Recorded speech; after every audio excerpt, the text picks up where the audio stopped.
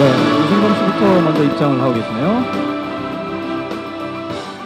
어, 연기자 배우 출신이시기 때문에 어떤 어쩌면 내가 더 들킬 수도 있지 않을까라는 그 지점들도 많았었는데 어 작업을 해보니까 되려 더 예, 연기를 아시는 연기를 아시는 하여튼 연기를 해본 경험이 있었던 그리고 지금도 배우이시잖아요. 그리고 그렇기 때문에 제가 간지러운 부분을 정확히 알고 긁어주시더라고요. 예, 그런 부분에 속이 시원했습니다. 예.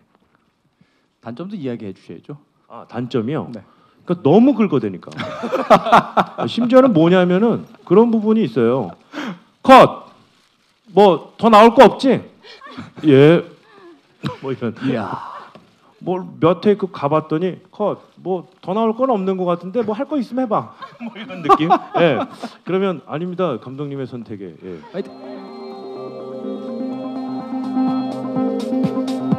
네, 감사합니다. 자,